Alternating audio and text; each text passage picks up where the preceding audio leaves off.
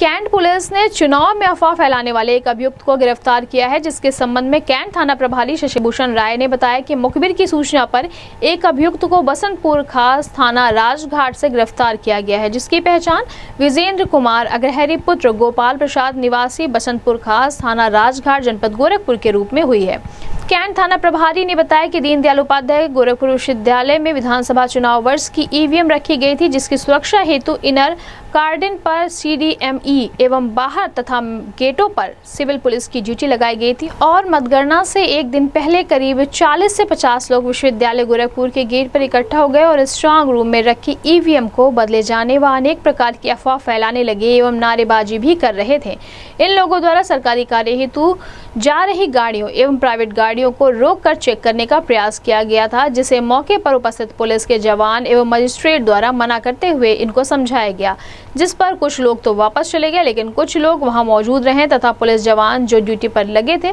उससे दुर्व्यवहार किए एवं सरकारी कार में बाधा डाले। इनके अफवाह फैलाने से अगल बगल एवं ग्रामीण क्षेत्रों में भी लोग आक्रोशित हुए एवं जिससे माहौल बिगड़ने की संभावना को देखते हुए थाना स्थानीय पर मुकदमा पंजीकृत करवाया गया, जिसको देखते हुए विजेंद्र कुमार अग्रहरी को गिरफ़्तार कर जेल भेज दिया गया। गिरफ़्तार करने वाली पुलिस टीम में कैंट थाना प्रभारी शशिभूषण राय वरिष्ठ उप निरीक्षक मनीष कुमार यादव, कांस्टेबल रोहित कुमार यादव, कांस्टेबल राहुल कुमार शाह, दिलीप कुमार, महिला कांस्टेबल शिल्पी चौधरी शामिल रहे।